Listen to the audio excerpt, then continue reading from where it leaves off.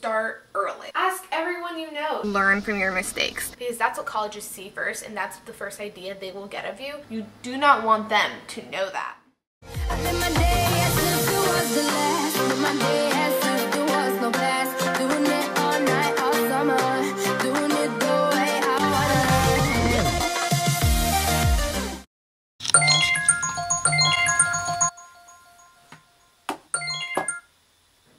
This is my way of filming in bed.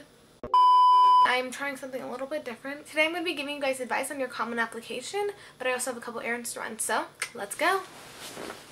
Of, my first and biggest piece of advice is to start early. The hardest part is making sure you have everything looking nice, spelled correctly, and well worded. The sooner you start, the better it will all be. I don't know what I want to wear today.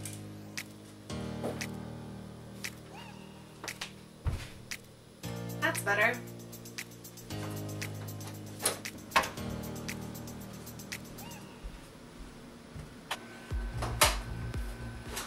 Okay, and here's your second tip. I don't have one. I'm back with my phone that contains my list of notes. Second tip, ask for help. Ask your teachers, ask your friends, ask your parents, ask everyone you know to look over your essays and to look over your entire Common App. And I mean the entire Common App. Right before you submit your application to a school, they give you the option to preview and you get this big PDF of like your entire essay of what is sent to the school. So preview that and print it out and read through it, hand it to your parents, hand it to someone else, ask them to edit it. And I mean edit it, like make sure they like get a pen and fill out notes so they can look at your activities and see how you're wording them and if you could word them better. Or if you filled something out wrong or if you spelled something wrong just ask other people for help. Like the fact that you wrote it yourself will make you glaze over your own mistakes. Time to get less blind. This is random but I love daily contacts. Like seriously if you have to choose between what kind of contacts you want to get you should get definitely get dailies. They're just so much less stress and responsibility. And I just love the fact that I can throw them away. And like all the people who have like weeklies or monthlies always stress about losing them and all that stuff. And I think it's worth it. I think it's worth the money to go for the dailies. Okay, let's go.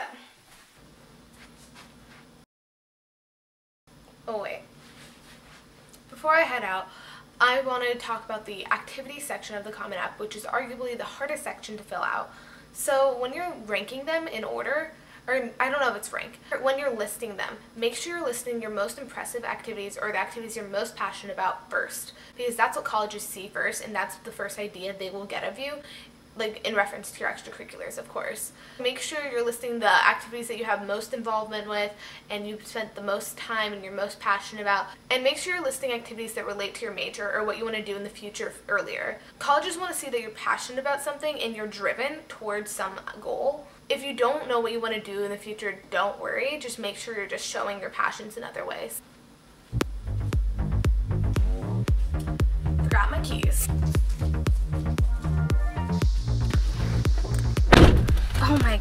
Gosh, it's hot in here. Another piece of advice is to actually answer the question that is being asked of you. This sounds pretty simple, but a lot of students tend to skate around the question or to copy and paste your writing from other essays and apply them to a bunch of different prompts, which I do think that's a good strategy, especially if you're applying to a lot of colleges because it takes a lot of time to write these essays. But make sure you're actually asking the question because that's going to make a significant difference in your college application experience. So if they ask, identify a mistake you made and evaluate like what you learned from it, find a mistake you actually made. Don't say, oh, I accidentally like worked too hard or something like BS like that, you know? You need to actually find the answers to the questions in a real way and then you have to show that you even if you made that mistake, that you have improved from it and you know how to learn from your mistakes. And do that with any prompt, even if it sounds like it's gonna put you in a bad light. Let's listen to some music.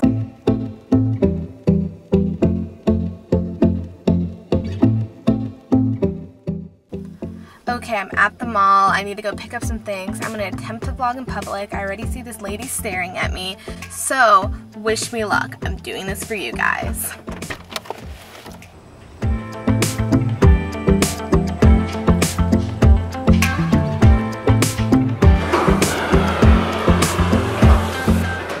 Yeah, it's really awkward to vlog in public, but back, here I am with another piece of advice walk somewhere that's like not awkward.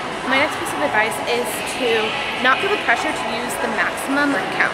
The Common App essay is a 650 word limit and a lot of the, and like usually it's like 200 for short answers or something and do not feel the pressure to go all the way to 650 or 250 or whatever the number is because honestly, if you can write a good essay that's only 500 words, that's all you need because colleges do not want excess information. But saying that, do not go to the minimum word count either. Just make sure you are answering the question in a concise and sufficient manner and you will be good. So as I was walking out, a security guard came up to me and told me I wasn't allowed to film inside the mall. Now this girl in front of me is staring at me. So I'm gonna stop for a second and pretend like I'm on my phone. Okay, you guys should drop a like because I'm doing this for you guys. So, please like and subscribe. Anyway, another piece of advice is to use every aspect of your Common App to show a different part of yourself in the best possible way.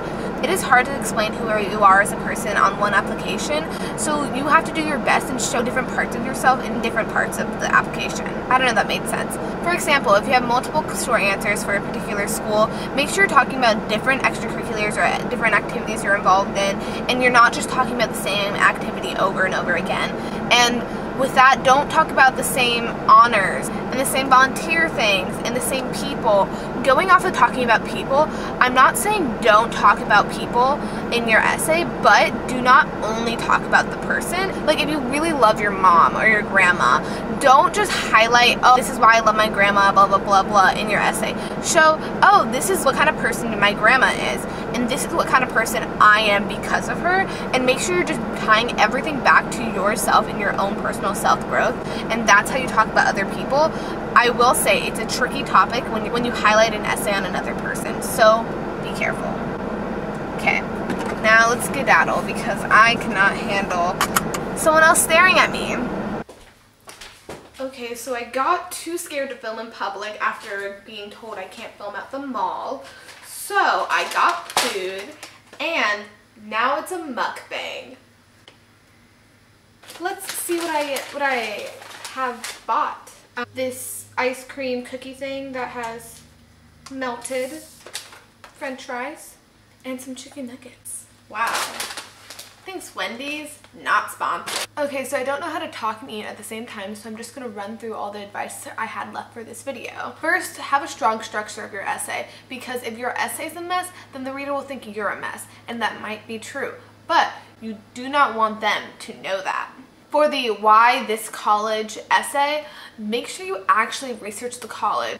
I know it's hard because a lot of colleges tend to blend together and have the same or similar attributes. When you have specific details towards a college, the college wants to accept you more. And make sure when you're writing those essays, you're showing how you personally would perfectly fit in their atmosphere, not why you just love that college because they know their college is amazing. They just want to know how you will contribute to that amazing environment. Next is the additional information section and you can use it, you cannot, it is all up to you. A lot of people choose not to use it because they don't really have anything to say. If you have any extenuating circumstances such as an illness or something like that that caused you to have worse grades, I personally use the additional information section to add in some more details about the extracurriculars that I was involved in since the activity section is so short. A lot of people don't use this section, but you should be aware that is another place where you can explain yourself more. Now we're going to talk about deadlines you need to be finishing your applications at least a day before it is actually due. And I know that's hard, especially when there's all the January 1st and January 2nd dates. So I understand if you have like one application you need to turn in on the day. But even if you're turning it in on the day that it's due, make sure it's a couple hours earlier at least. It is not just pressing the submit button because you need to pay Like you need to enter your credit information, you need to read through the agreement, you need to read through the PDF preview of your application. There's a lot to do right before you submit it, so make sure you are giving yourself at least close as like an hour to read over everything, submit your information, so you make sure you're putting your best foot forward. Along with deadlines, make sure you're asking your recommenders for their recommendations months and months beforehand. This is their schedule. You cannot control it, and if you're asking a day or two before, they will have a bad last image of you as they write that recommendation. And it's just more courteous and respectful to ask early, and it doesn't hurt. For the Common App, you literally just enter in their email and they will fill it out all themselves. So it doesn't take time, it doesn't take a lot of effort to just ask them beforehand. And then you don't have to stress about it anymore since your recommendations are in, you can focus on other parts of your application. So that's all the advice I had prepared for this video and I'm hungry and I want to eat. So if you want a part two, comment that down below. Make sure you drop a thumbs up if this video helped you anyway. Hit that share button and send this to anyone that you think could help. And make sure you subscribe for more content. I'll see you guys in the next video. Bye.